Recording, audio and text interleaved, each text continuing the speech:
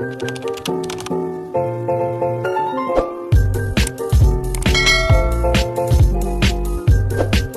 guys, bibidyoan natin si isang vlog. Kuha siya ng talilong.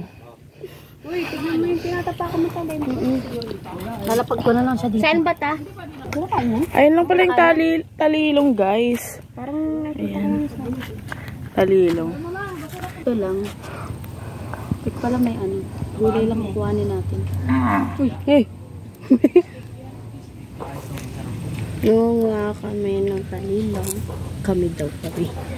Itali sa naman ng Uy, nakawad pala yun. Ito guys, hinahaluan to ng sardinas. Pero ito kinakain to eh. Yung sa kamote. no? Masarap to eh. Para siyang alokbati lang. Yung Yung lasa. ano niya. Oo, oh, tsaka yung texture niya. Para siyang alokbati. Laway-laway din. Tingnan natin to guys. Kasi minsan lang tayo makakain nito. Yung pati dahon. Soyong. Madami-dami na guys yung nakuha niya. Parang nakasako ata yun eh. Ilalagay, i-ano natin siya guys sa sardinas. Talilong yun guys. Ano lang, malalaki.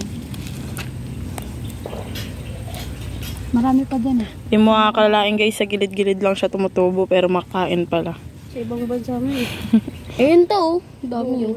Saan? Ayun. Tatlo. Apat. Ito malalaki guys.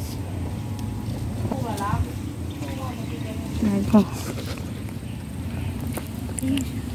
Kita mo naman sa'yo. you.